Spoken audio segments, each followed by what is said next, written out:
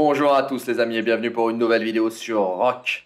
Les amis, la maintenance est passée, elle a duré 3 heures pile, ce qui est très rare, mais comme d'habitude lorsque la maintenance dure 3 heures, il y a des petits effets de bord bien bien sympathiques pour certains serveurs. Hein, où on va le voir, les serveurs jeunes ont un bug assez sympa. Et quand je dis les serveurs jeunes, c'est les serveurs très jeunes. Si on prend le serveur notamment 2031, alors tac, on va aller les voir. On descend déjà, vous le voyez, le 2031, il est bien loin. On a le classement est dans le bon ordre. C'est ce que je vous allais vous dire, mais euh, tout à l'heure, quand j'avais vérifié, il était tout dans le désordre, le classement déjà des royaumes. On le voit encore, regardez, 2121, 2128, 2065, 2072, c'est n'importe quoi euh, le classement des royaumes. Donc déjà, ça, ça arrive souvent suite à patch. Vous l'avez peut-être jamais vu, mais quand on a des patchs, on a souvent le bordel après dans la liste des royaumes. Et le 2131, par exemple, mais c'est pas le seul concerné, c'est un royaume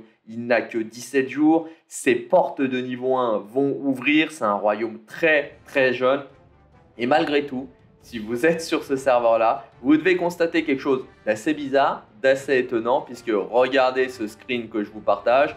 Vous avez accès au chat de Royaume Perdu. Donc voilà, vous pouvez communiquer avec les royaumes de votre continent. C'est tout bonnement n'importe quoi. Donc évidemment, à mon avis, on va avoir un patch cumulatif, même s'il a duré que 3 heures. Alors, on a déjà reçu le mail avec les 300 gemmes, la clé en or et les 3 heures d'accélérateur. J'espère qu'on va recevoir une nouvelle récompense s'ils font un down, mais il n'y a pas de souci à mon avis, on va en avoir une. Au SMIC horaire, hein, une heure égale 100 gemmes et un accélérateur. Mais sans clé en or, à mon avis, si ça dure peu de temps, on verra. Il y a peut-être d'autres effets de bord, puisque moi j'ai constaté aussi, si on va dans le tableau d'affichage, on rentre dans la ville, tableau d'affichage, normalement ici, il doit avoir le patch log, le descriptif complet, mais également certains events en cours, notamment le MGE. Je voulais aller voir la sixième étape du MGE, ce que c'était concrètement. Elle n'est pas décrite puisqu'il n'y a rien, donc forcément on va avoir quelque chose qui va apparaître, et est-ce que ça va passer par un nouveau Dawn, peut-être, on le saura, peut-être qu'il aura eu lieu d'ici la diffusion de cette vidéo et que vous la voyez, parce que quand on va dans les événements et qu'on regarde le plus grand gouverneur qui plus est, le descriptif est faux. Cet événement comportera 5 niveaux. Non, maintenant il a 6 niveaux. Mais ils ont bien remplacé Zenobia entre le moment du Dawn et maintenant par Nabucodonosor II. À présent, on va pouvoir avoir ce nouveau commandant, mais on n'a pas le descriptif de la nouvelle étape et forcément ça passe par le tableau d'affichage. En parlant des events, malheureusement le roi des cartes n'a pas reset magiquement suite à un bug, hein. il est toujours fini si vous l'avez fait complètement et c'est le dernier jour de la maison d'Esmeralda. Je vous invite à aller jusqu'au 10 tours si vous pouvez vous le permettre en termes de gemmes. Moi c'est ce que je vais faire, voilà des accélérateurs pour faire des troupes c'est super c'est pas le plus utile. Et, j'ai eu trois coffres légendaires, hein, de matériaux légendaires. Ça, c'est bon, c'est même très très bon. Et je prends mon petit coffre de 10 qui est très rentable.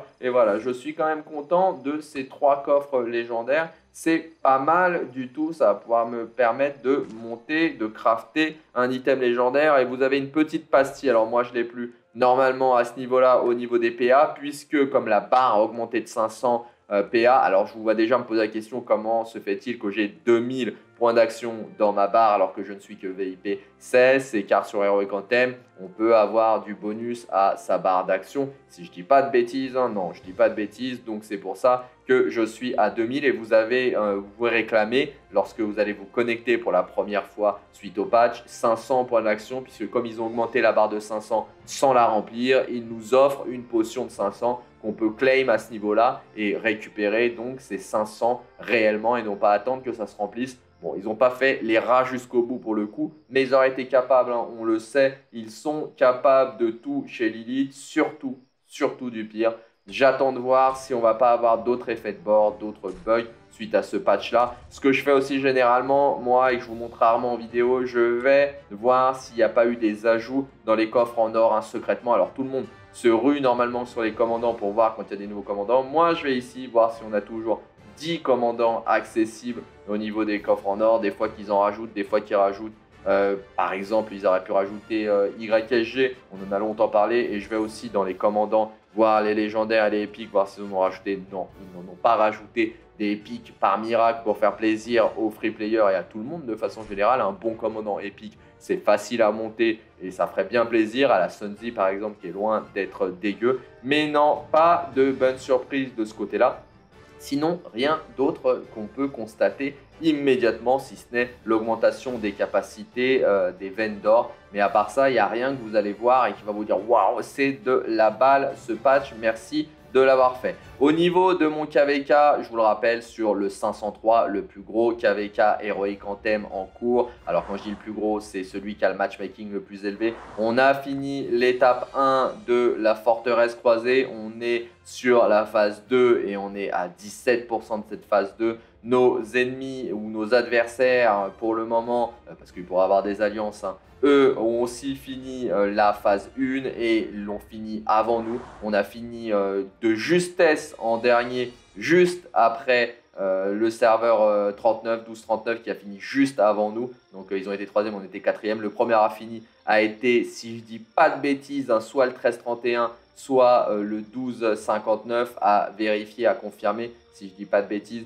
On le voit, ils sont à 17% aussi de leur phase 2 tout comme nous, hein, on met euh, le turbo hein, pour essayer de les doubler. Pareil, ça n'apporte rien, c'est juste psychologique. Ils ont fini en avance, le 1331, ils sont à 30% de cette phase 2. Je vous fais le tour, hein, ça vous permet de comparer par rapport à votre royaume, hein, voir si euh, votre royaume a les mêmes performances que le nôtre. J'ai vu certains qui bombardent bien sur la forteresse. Hein. et évidemment, le 254, j'ai dit euh, le 259, je dis n'importe quoi. 254, lui est en avance, il est à 40%. Donc c'est lui qui lead, on voit euh, suivi du 31. Et nous, on talonne le 34, un bon combat entre eux et nous. On va bien voir hein, qui euh, finira en premier. Cette première étape, hein, en tout cas, c'est très très serré. Ils ont des belles alliances, des belles coalitions. En parlant de coalition, une petite astuce, le 34, le 39, ça va pas avec les chiffres hein, ce matin. Le 239, évidemment. Euh, on a une, petite astuce au niveau de la coalition. coalition. Oh là là, ça va pas qu'au niveau des chiffres, au niveau du vocabulaire aussi. Si euh, vous n'avez pas remarqué, il y a un bug qui vous permet de cheater quelque part les coalitions, puisqu'il vous suffit de prendre avec une coalition votre forteresse croisée, puis euh, par la suite, euh, vous additionnez la troisième alliance à votre coalition, vous laissez la forteresse croisée à une seconde coalition qui, elle aussi, va pouvoir rajouter une troisième alliance. Et lorsque vous perdez la forteresse croisée, vous gardez le bénéfice des trois alliances. Ça vous permet d'avoir plusieurs coalitions à trois alliances en ce début euh, de, euh, de KVK, ce qui est très très utile pour les rewards et pour les aides, etc. etc. Donc n'hésitez pas à le faire. Est-ce que c'est un bug? Est-ce que c'est volontaire? Je n'en sais rien, mais en tout cas, ça ressemble plus un bug qu'à quelque chose de volontaire. Les amis, on va aussi retourner sur un KVK qui a de l'action de ouf. On a fait un live sur ce KVK avec des invités du 1860. C'était et c'est toujours l'un de nos fils rouges. C'est le plus gros KVK classique première génération en cours, sauf erreur. D'autres vont pop, hein, mais dans les KVK de première génération, c'est le plus gros en cours. Tac, on va aller le voir tout de suite. Le KVK, bien évidemment, 105, hein, je vous le présente plus, avec des royaumes énormissimes, les deux plus gros, le 1846, alors là je me trompe pas sur les noms parce que je l'ai mis, et le 1860. Et vous allez le voir, le 1860 qui était le rouge en bas à droite, qui était enfermé pendant très longtemps par deux royaumes, hein, le orange et le jaune. Eh bien regardez, le rouge est sorti en force grâce au soutien de ses alliés, le cyan et le bleu, donc les deux bleus, ont fait un travail de ouf. Alors sur le côté, là, le violet, le 46, les a bien repoussés, a bien avancé, mais ça reste encore fermé et hermétique hein, de ce côté-là. Mais si on regarde, à mon avis, ça doit brûler sur ces zones-là. Voilà, le drapeau, il brûle bien évidemment. Les forteresses doivent commencer à brûler ici, celle-là notamment. Non, elle ne brûle pas, elle est en réparation. Donc de ce côté-là, ça tient. Ils vont galérer à sortir, hein, c'est évident. Ça doit brûler euh, ici aussi. Bah non, ils n'ont pas pu passer. Donc ça ne peut pas brûler. Donc ça tient bien. Ils sont propres de ce côté-là. Bien, bien costaud de l'autre côté. Ils se sont bien étendus et ils ont pu suffisamment avancer pour aller aider le rouge et du coup le rouge est sorti en force Ils ont défoncé le orange et le jaune de ce côté-là. Forcément, cette fois, ils n'étaient plus à 2 contre 1, mais ils étaient à 2 contre 3. Et là, malgré leur puissance, parce qu'ils tiennent quand même hein, ici euh, le, le, orange, sur, le jaune sur certaines zones, hein, cette porte-là n'est toujours pas libérée. Hein, donc, euh, ça tient pas mal. Ils sont quand même très costauds, mais ça se fait repousser, ça va prendre du temps. Et le violet est venu les aider. Donc, le violet a mis une forteresse ici pour jumper, direct prendre le passage et venir les aider ici. Le rose, malheureusement, est toujours en détresse dans son coin tout seul. Et de ce côté-là, le violet, pour le moment, n'a pas réussi à suffisamment aider ses alliés, mais euh, les portes sont ouvertes depuis un peu plus de 24 heures, moins de 48 heures, si je dis pas de bêtises, ou tout juste 48 heures. Et de ce côté-là, en tout cas, ça tient toujours. Le violet n'a pas encore détruit euh, les drapeaux, il n'a pas réussi à surpasser de ce côté-là l'alliance des trois qui s'est regroupée ici. Donc vraiment, c'est un combat de ouf et la suite reste serré. Il s'est passé le scénario euh, que je vous avais potentiellement dit qu'il pouvait arriver. Si les deux bleus arrivaient à aller aider le rouge, le rouge pourrait sortir en force et enfin s'étendre sur ce KVK. Donc on se retrouve quand même avec trois zones dominées par l'alliance du 46. Hein. des zones, quand je dis trois zones, c'est euh, des zones 1, 2, 3, des zones 3, euh, les zones Macha, les zones Kalcha et les zones Dimboko. Donc ils ont trois zones pour eux, ce qui veut dire autant de cercles euh, associés. Hein. et de l'autre côté, ils n'ont qu'au Curie, l'alliance du 46. Mais en Terre du Roi, à mon avis, ça va bien se bastonner. Ça va rester relativement scellé, relativement fermé. À mon avis, hein, le jaune et le orange vont se faire, sauf si le violet arrive à les aider vraiment massivement. Mais ils devraient se faire repousser de ces zones-là. Et en tout cas, on va avoir une belle baston en Terre du Roi, ça va être très sympa, sachant que le violet peut encore réussir à passer sur cette zone-là, et s'il arrive à passer sur cette zone-là, eh bien, ça va devenir très rapidement compliqué pour, euh, pour la, triple alliance, hein, puisqu'ils sont euh, que trois pour le coup, euh, sur, puisque le rose reste enfermé. Mais ça reste intéressant à suivre, même si ça brûle ici. Le 77 hein, et le Cyan ont fait vraiment un très très gros boulot et ça reste un KVK très très animé. J'attends de voir la suite, je manquerai pas bien évidemment de vous dire ce qui va se passer sur ce KVK qui reste